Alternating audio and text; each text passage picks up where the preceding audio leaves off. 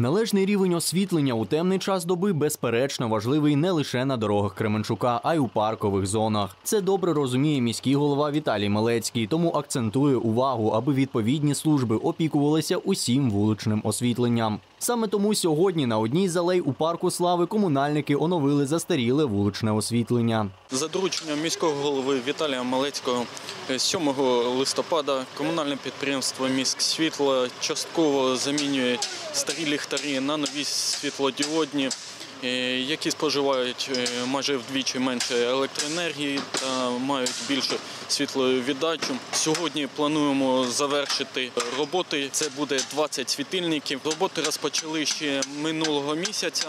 Сьогодні плануємо завершити. Відтепер, завдяки оновленим ліхтарям, у темний час доби кременчужани та гості міста можуть з більшим комфортом прогулюватися цією алеєю та почуватися у безпеці. Дмитро Цирюльник, Олексій Крижановський, Кременчуцькі новини. Thank you.